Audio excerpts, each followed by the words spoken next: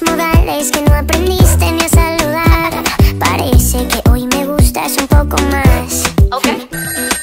Hola, ¿cómo tal? tal uh? So nice to meet you, you said we should go and get a room mm, No, if you want